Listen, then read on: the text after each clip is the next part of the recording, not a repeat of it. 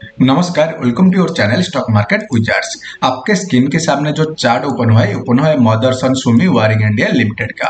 Time frame select हुआ है weekly अगर आप स्टॉक का चार्ट स्ट्रक्चर देखेंगे प्राइस देखिए कॉन्स्टर्ट क्या था कॉप एंड हैंडल बटन ए हो गया उसका कॉप एंड ए हो गया उसका हैंडल एंड जो कॉप एंड हैंडल बटन का नेकलाइन था ए रेल लाइन जिस लेवल से देखिए प्राइस को पे मल्टीपल टाइम सप्लाई मिला था। जो कि स्टॉक का प्राइस के लिए था, एक ओल्ड डिफाइन रेजिस्टेंस उसके साथ जो कॉप एंड हैंडल पैटर्न का नेकलाइन। देखिए, जो कॉप एंड हैंडल पैटर्न होता है, एक बुलिश पैटर्न होता है, वो दो टाइप का होता है। एक ट्रेंड रिवर्सल के लिए बनता है, जब डाउन ट्रेंड का बॉटम में बनेगा, आप उसको reversal cup and handle pattern बोल सकते हैं। अगर ट्रेंड का बीच में बनेगा, इसको आप continuation cup and handle pattern बोल सकते हैं। क्योंकि यहाँ पे प्रीवियस ट्रेंड ऑफ़ था तो आप यहाँ पे continuation cup and handle pattern बोल सकते हैं। एंड जिसका नेकलाइन को ब्रेक करके इस पैटर्न एक्टिवेट हो गया है। एंड देखिए पैटर्न एक्टिवेट होने के बाद प्राइस को यहाँ पे ऊपर जाना चाहिए था। लेकिन प्राइस देखिए रेंज के अंदर यहाँ पे ट्रैप हो गया था। एंड फाइनली उसी रेंज को अभी ब्रेकआउट करके पुल बैक कर रहा है, जिसकी वजह से लो रिस्क जोन में स्टॉक का प्राइस ट्रेडिंग कर रहा है। अगर यहाँ पे मैं एक ट्रेन लाइन ड्रॉ कर दूँगा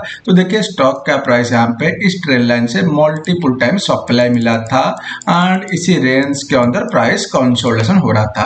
एंड फाइनली देखिए स्टॉक का प्राइस उसी रेंज को यहाँ पे ब्रेकआउट किया। ब्रेकआउट करने के बाद इस हाई बना था एंड रिटेस्ट किया है। आज पर द प्राइस एक्शन अगर प्राइस कभी भी कोई भी एक मेजर रेजिस्टेंस को ब्रेकआउट कर लेता है ब्रेकआउट करने के बाद अगर पुल बैक करेगा प्रीवियसली जो रेजिस्टेंस लाइन था ना, अभी के लिए यहाँ पे सपोर्ट बन जाएगा। एग्जैक्टली देखिए, ये जो रेजिस्टेंस लाइन था प्राइस उसको ब्रेकआउट करने के बाद जो पुल बैक किया, वो लेवल यहाँ पे सपोर्ट बन गया है। तो प्रोबेबिलिटी हाई है कि इस लेवल से प्राइस ऊपर जा सकता है। तो आपको यहाँ पे बस स्टॉप लॉस प्लेस करना है बिलो 62 जब तक स्टॉक का प्राइस उसका प्रीवियस स्विंग लो 62 को ब्रेक नहीं करता है तो चार्ट से टॉप वैलिड रहेगा एंड आने वाले टाइम में स्टॉक का प्राइस ऊपर जा सकता है। तो टारगेट क्या बनेगा?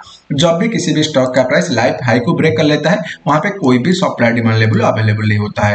एंड वहाँ पे टारगेट मेजर करने के लिए हम यूज़ करते हैं फिबोनाकी एक्सटेंशन को।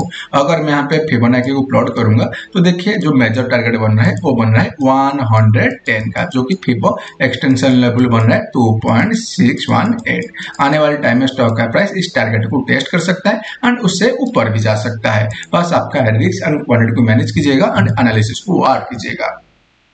अगर आप यहाँ पे क्वार्टर टू क्वार्टर बेसिस के ऊपर सेल्स देखेंगे लास्ट थ्री क्वार्टर से कंपनी देखिए कॉन्टिन्यूसली उसका सेल्स में ग्रोथ दिखा रहा है। उसके साथ नेट प्रॉफिट भी ग्रो कर रहा है। अगर सेल्स ग्रो कर रहा है एंड ईपीएस ग्रो कर रहा है, जिसका पॉजिटिव इंपैक्ट प्राइस के ऊपर आएगा एंड आने वाले टाइम में स्टॉक का प्राइस आउट परफॉर्म कर सकता है।